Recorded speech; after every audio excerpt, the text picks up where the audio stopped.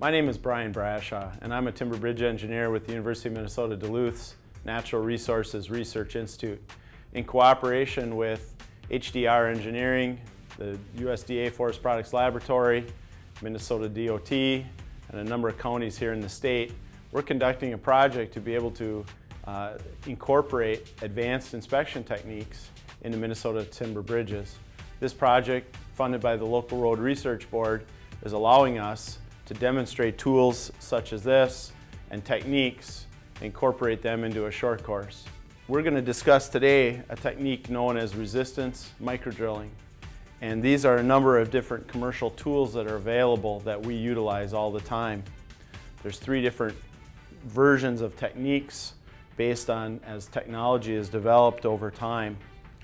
But generally speaking, each of these techniques utilizes a small diameter drill bit as the drill bit enters a member, it measures the resistance as it drills through.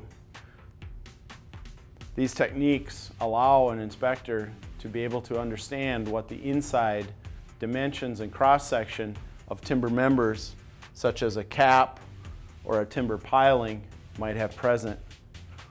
All of these work on a drilling technology so that as this drill bit enters the member,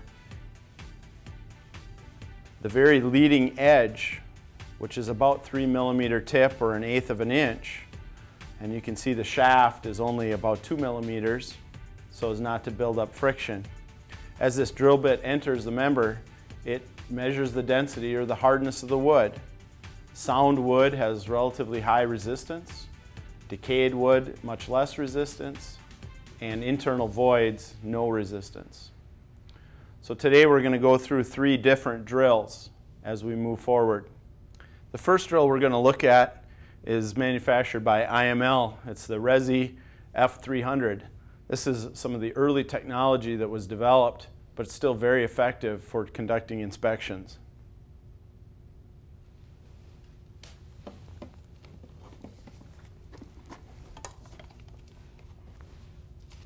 This piece of equipment allows the inspector to collect data electronically,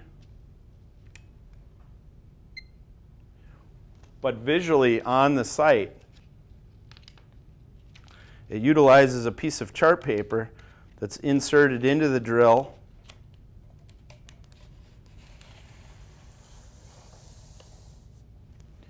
And as the drill bit enters the wood, this small pin shows the distance, the resistance as the drilling bit enters the wood itself. Typically, as we've conducted an inspection, we've already done a combination of visual inspection techniques. We may have used a technique like stress wave timing that has allowed us to identify areas of the bridge members that we have concerns about. That may be in the super substructure, that may be the cap, or it may be the piling itself. We're going to place the drill against the surface of the member that we're going to evaluate. As you can see from the drilling needle, it's picking up individual growth rings as it drills through the member. Sound material has good resistance. As you can see, this one is between 50 and 75% of the maximum level.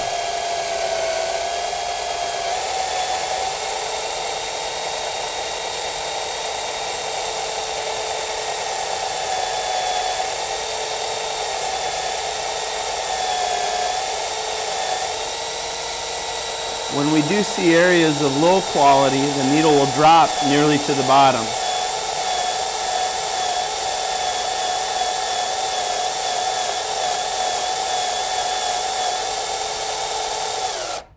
When we've reached our maximum drilling depth, we reverse the drill bit and pull it back out of the member itself.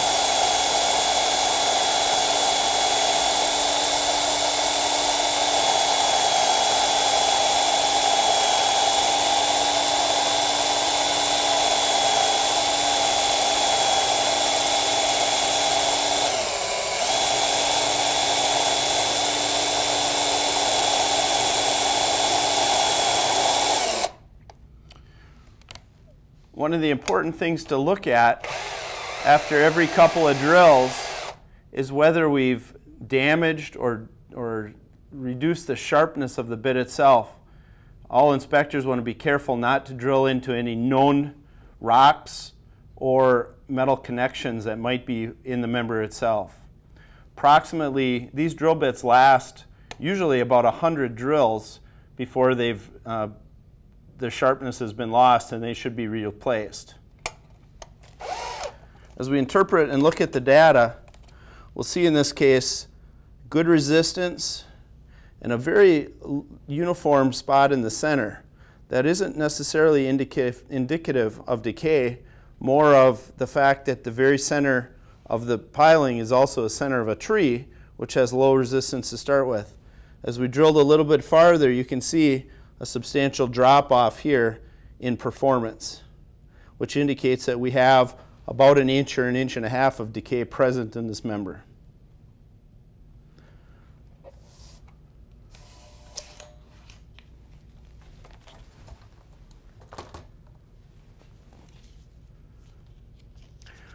One of the things that's nice and allows us to do is that the inspector can actually take notes and add data right to this chart. The data can be stored electronically in the tool itself, but it oftentimes we, this gives us the ability to take notes and to record that information so that we can scan it into the computer and add it into the electronic files for the future. The second drill we're going to demonstrate is also manufactured by IML. And this is a newer version that uses an electronic drilling control system. As you can see, all of these units are battery powered in one fashion or another. So on the display unit, there's a number of options available. So each inspector can specifically put the bridge number and the drilling number as part of their data collection process.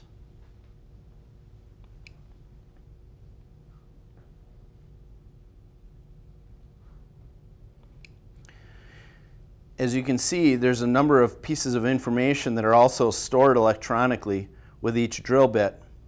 This includes the sample number itself, the drilling rate or speed, whether the needle was sharp in its self-check or auto-check system, and the amount of data that is left to be able to be stored in the internal data acquisition package. As each unit drills in, this is an example of data that's collected and displayed electronically. This data is also stored and can be downloaded to a Bluetooth printer or it can be electronically processed on a laptop. This shows the drilling as it drills through the unit.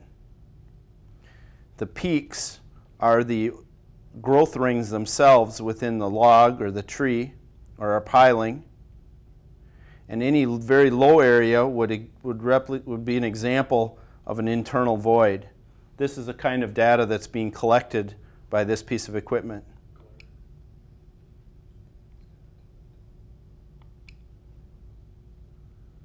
This unit is now ready to drill into our member. We want to have a good firm connection to the sample itself.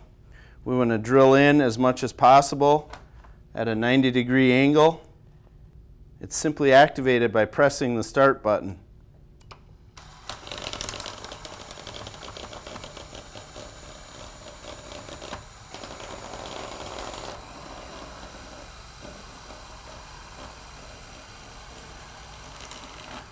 Once it drills through the member, it returns the needle to its original position and it also checks to make sure that the needle is okay and hasn't broken or been damaged during the drilling process itself.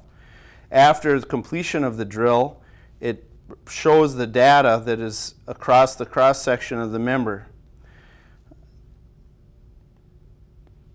Areas of decay, such as this, the data shows very low resistance as it moves process through the system.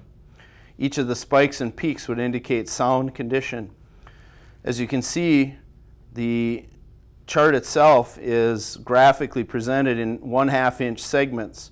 So it allows an inspector to determine the, the exact internal dimensions of any decay that may be present in the system.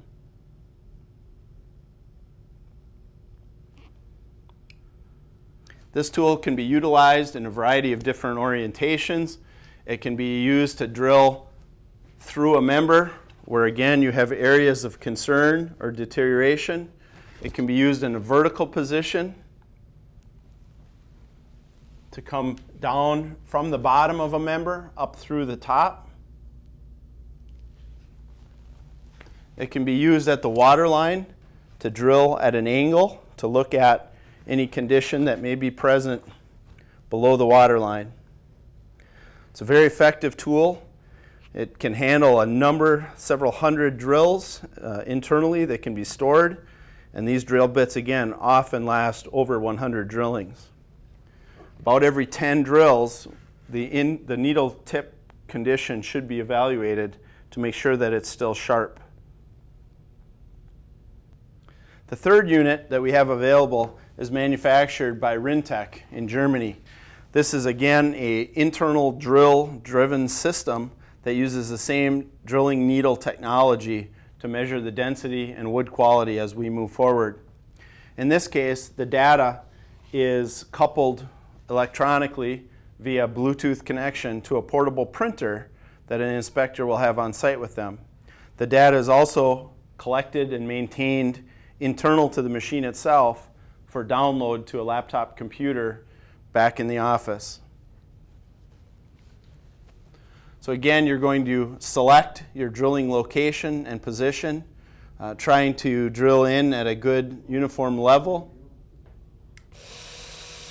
Good contact with the unit itself. There is no graphical display on the unit, but you can look at the printer as you're drilling through. One of the other things that inspectors become familiar with is the sounds as it drills through, and voids having a very different sound than other material.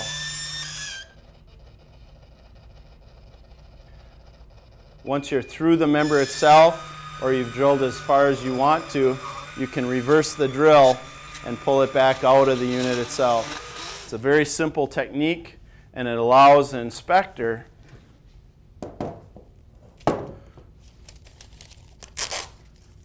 to inspect the data that's been collected as it drills through the unit itself. The paper copy allows the inspector to take specific notes, which location, which member, other notes that they think that are important to be recorded.